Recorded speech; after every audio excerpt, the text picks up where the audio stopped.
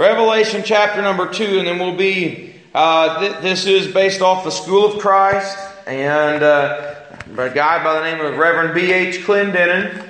And um, I, this his stuff, his this this School of Christ has blessed me over my young ministry. So we're going to follow it a little bit. And uh, so Revelation chapter number two, and just for the sake of time today, just to make sure I can get through this in a reasonable amount of time, I, I am going to read today. But uh, maybe uh, maybe later on here uh, we'll, if things are going well, we'll we'll go back to more of a Sunday school uh, question and answer and, and uh, reading format. But Revelation chapter number two and verse number one.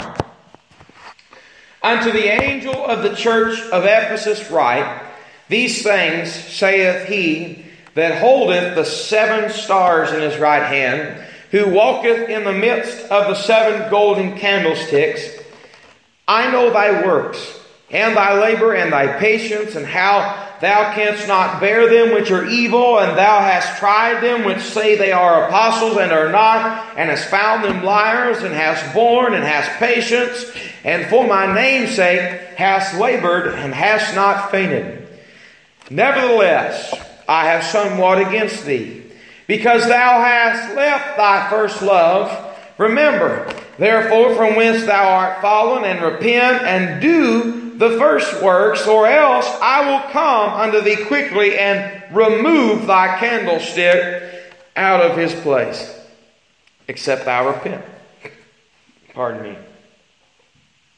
But this hast thou, this thou hast, that thou hatest the deeds of the Nicolaitans, uh, which I also hate. He that hath an ear, let him hear what the Spirit saith unto the churches. To him that overcometh, will I give to eat of the tree of life which is in the midst of the paradise of God.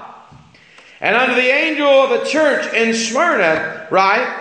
These things saith the first and the last, which was dead and is alive. I know thy works and tribulation and poverty, but thou art rich. And I know the blasphemy of them which say they are Jews and are not, but are the synagogue of Satan. Fear none of these things which thou shalt suffer. Behold, the devil shall cast some of you into prison, that ye may be tried, and ye shall have tribulation ten days. Be thou faithful unto death, and I will give thee a crown of life. I want you to notice what he just told the last church too. He says, To him that overcometh will I give to eat of the tree of life. And then here on this church, I will give thee a crown of life. He that hath an ear, let him hear what the Spirit saith unto the churches. He that overcometh shall not be hurt of the second death. And to the angel of the church in Pergamos write, These things saith he which hath a sharp sword with two edges, I know thy works, where thou dwellest, even where Satan's seat is, and thou holdest fast my name, and hast not denied my faith even in those days wherein Antipas was my faithful martyr, who was slain among you where Satan dwelleth. But I have a few things against thee, because thou hast there them that hold the doctrine of Balaam, who taught Balak to cast a stumbling block before the children of Israel, to eat things sacrificed unto idols, and to commit fornication. So hast thou also them that hold the doctrine of the Nicolaitans, which things I hate, repent, or else I will come unto thee quickly, and will fight against them with the sword of my mouth. He that hath an ear, let him hear what the Spirit saith unto the churches. To him that overcometh will I give to eat of the hidden manna. And I will give him a white stone, and in the stone a new name written which no man knoweth, saying, He that received it. And the angel of the church in Thyatira write, These things saith the Son of God, who hath his eyes like unto a flame of fire, and his feet are like fine brass. I know thy works, and charity, and service, and faith, and thy patience, and thy works, and the last to be more than the first. Notwithstanding, I have a few things against thee, because thou sufferest that woman Jezebel which called herself a prophetess, to teach and to seduce my servants to commit fornication and to eat things sacrificed unto idols. Skip over to chapter 3 and verse number 1. And unto the angel of the church of Sardis write, These things saith he that hath the seven spirits of God and the seven stars. I know thy works, that thou hast a name that thou livest, and art dead. Amen. In the second and third chapters of the book of Revelation, we have the Lord's survey of the seven churches. And his eyes has a flame of fire, are looking into the inner spiritual state of these seven churches. Is he not?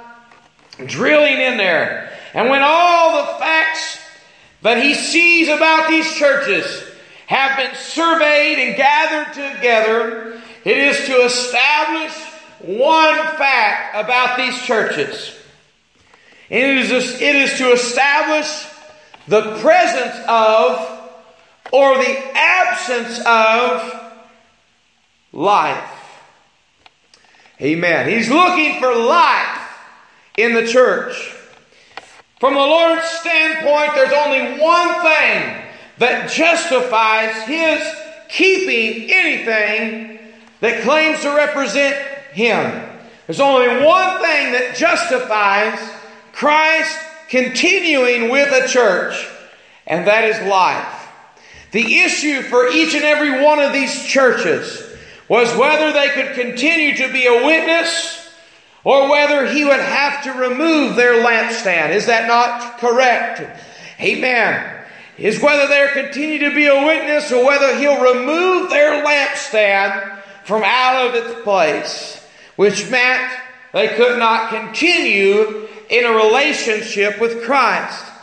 So the great question is one of either of, uh, of either continuing in a relation with God, amen, for God's purpose, or whether they would pass out of God's purpose. The question concerning every church raised up by God in relation to His purpose is what justifies God maintaining that vessel, that church, that person, that individual. Amen. And so we find this is this hot, the heading on this here section is the conflict. The conflict. Amen. The conflict between death and life. And uh, so this lesson today is called the testimony of life. The testimony of life. What justifies God in maintaining this church? Amen. What justifies God in continuing in a relationship with you and I and with His church? It is evidence that there are things which disqualify some from fellowship with God. In our reading this morning, and there are some churches that are doing a lot of good, aren't they? There's a lot of good things, a lot of outreach, a lot of doctrinal. There's a lot of things that are good, but there are some things that disqualify them from having fellowship with God. Amen. In the first place, the fact that God raised up a church, raised up an individual, raised up a vessel for him to use does not is not enough to justify God continuing to keep and use that vessel. Right? From what we read this morning. Amen. So again, the fact that an instrument was greatly used of God that he raised up does not justify God in preserving that instrument. The fact that such a church has a wonderful history of devotion to God and at some time had been a real, genuine expression of God's love and grace is not enough to justify God continuing with that church. I've had conversations with different folks about different ways that people do outreach. And, um, you know, different churches. Um, one particular story that I, I, that I actually use and tell people a lot is um, is where a, a, one church had had, uh, had uh, um, I guess some of the people in the church had begun to press the pastor to um, to do a certain type of thing that they wanted to do, and they wanted to call it beer and the Bible. And with their beer and the Bible, it was going to be a Bible study. And so they were going to, they wanted to offer free beer to anybody who would come and sit and listen and uh, participate in a Bible study. This is just the, the, from my knowledge. I may get some of the story wrong, but this is the way they do it. So finally, that pastor gave in. And he said, But I don't want anything to do with it. You guys handle it. So they did. And supposedly, this allegedly, they started getting a lot of people coming. Uh, because, you know, you can probably get a lot of people to come if you offer free beer. But uh, anyway, they come, and uh, allegedly they were getting saved and giving up their alcohol and continuing in the Bible study. Now, to me, I highly, highly doubt that. Not necessarily because God can't use certain things to save people. I, I know a man that was saved in the middle of a Van Halen rock concert. God saved him on the spot.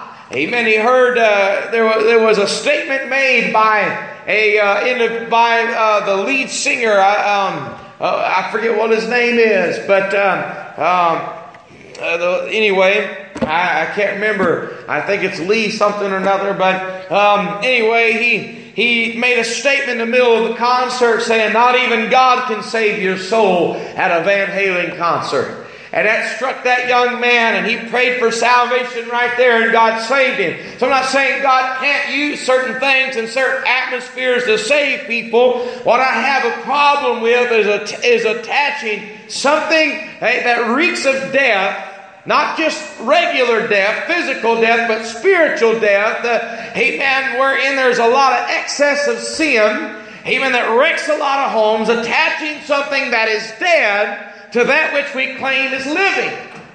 That's the problem that I have. So what justifies God? Maybe God did use that. Maybe He did. I, I, I don't want to, uh, you know, ruin my, my name by saying He did. I don't believe He did. I don't know that He did. I have no idea. Amen. But in this sense, uh, amen, I don't believe God will continue very long with the people, amen, that are attaching that which is dead to that which is supposed to be alive. Come here, Brendan. Sit up here. Come here. Come here. I better keep rolling here. To answer the question, we must look to see what God's purpose was in bringing the instrument uh, of God, the vessel of God, into being.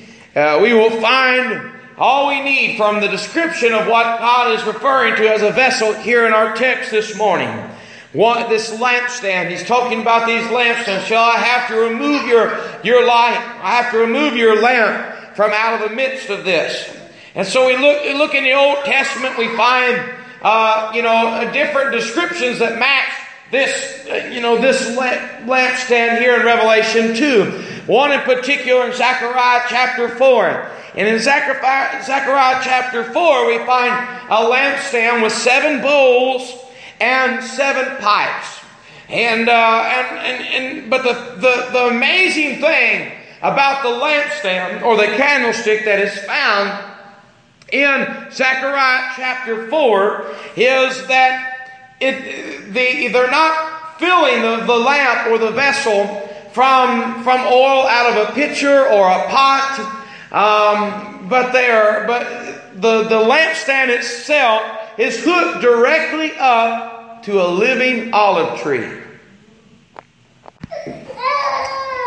All right. Lampstand. This lampstand is hooked up to a, is literally the bowls that hold the oil in this lampstand are hooked directly up to a living olive tree, in which out of those olive trees comes a continuous flow of oil into the lampstand.